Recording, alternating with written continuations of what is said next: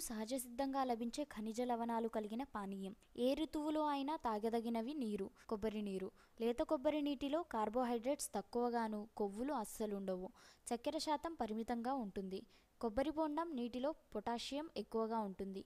కొబ్బరి నీరు సహజ సిద్ధంగా లభించే ఖనిజ లవణాలు కలిగిన నీరు. ముఖ్యంగా జీర్ణక్రియకు ఎంతగానో దోహదపడుతుంది. అంతేకాదు రుచికరమైన పానీయం కూడా. ఇది చిన్నపిల్లలకు మాత్రమే కాకుండా పెద్దలకు రోగులకు ఇలా ప్రతి ఒక్కరికి ఎంతో సురక్షితమైన పానీయం. అలాంటి కొబ్బరి నీళ్ళలో కాసింత నిమ్మరసం కలుపుకుని తాగితే ఎలాంటి ఫలితం కలుగుతుందో ఓసారి పరిశీలిద్దాం.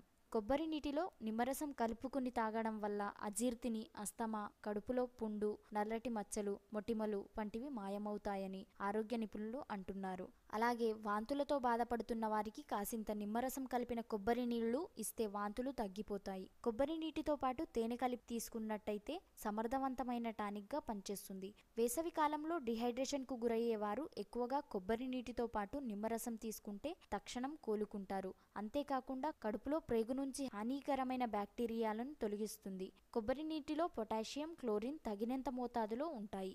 Ramana heart and maternity hospital Reddy and Reddy colony Tirupati phones zero eight double seven double two five eight one eight three మరియు nine four nine zero one zero nine one double zero